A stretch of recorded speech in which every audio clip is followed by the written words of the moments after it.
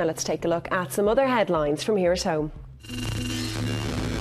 Job doubts over debt. The commercial court heard today that thousands of jobs are at risk at Dunnes Stores because of the company's refusal to pay a debt of 21 million euro.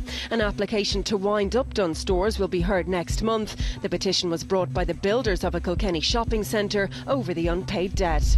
Unhealthy concerns. The Minister for Health has defended his handling of the primary care controversy. James Reilly is once again under fire over the two sites earmarked for his constituency. Fianna Fáil has tabled a motion of no confidence, but that cannot go before the Dáil until March at the earliest. And I've made it very clear that I stand over what I did, and if I had it all to do again, I would do it again. And from politics to crime, a former Fianna Fáil councillor has been given a three-year suspended jail sentence for theft.